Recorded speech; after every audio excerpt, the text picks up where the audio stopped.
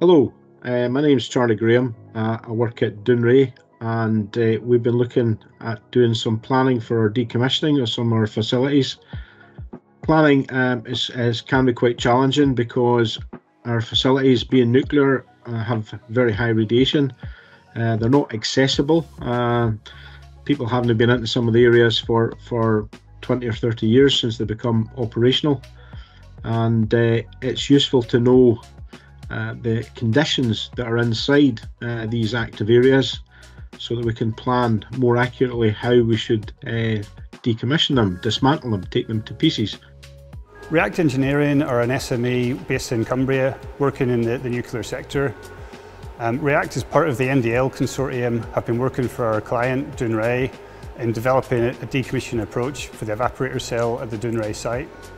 In talking with Createc, we identified an opportunity to use the Spot robot from Boston Dynamics to, to carry out a survey um, in the cell, get the information that's really critical to, to what we were doing. In, in preparing for the survey, we, we had quite a, quite a lot of work to do to, to understand how we were going to get the, the robot in there, what was needed to make that happen in plant, get access into the cell um, and, and make, the, make the survey happen. Createc are an SME, we're based in Cumbria. We are a key partner to technology providers and we were brought into this Dounreay project to conduct the UK's most complex mobile robotic deployment. The complexity of this project was born about because of the congestion of the environment and because it's built upon multiple levels. So when we sent the robot into the environment, because of the radiation present in there and the potential of contamination, we couldn't be anywhere near operating the robots. We had to view the scene, the environment, from the robot cameras itself, so we're operating it beyond visual line of sight. Createc deployed two Boston Dynamic quadruped robots. We deployed these in our contamination protection suits. What that meant was that we could deploy the robots into the highly contaminated cell. We could then bring those robots out. They would then be cleaned for use elsewhere to be deployed further.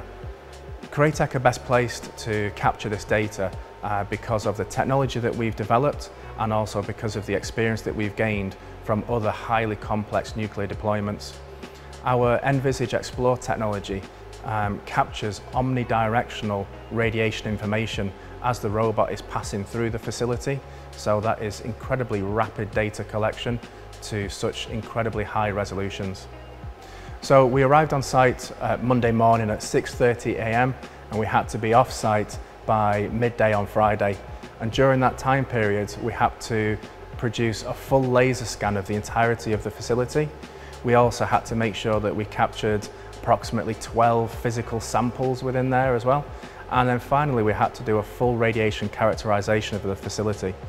If a human had to capture this type of data, first of all, they wouldn't be able to enter into that environment in the first place.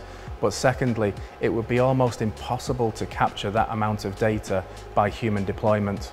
The robot was able to uh, traverse not only platforms but also uh, to go up and down stairs, uh, and that was really a, a, big game changer for us because um, it allowed us to survey all four of the floor levels that we have in, in this facility just through one access point.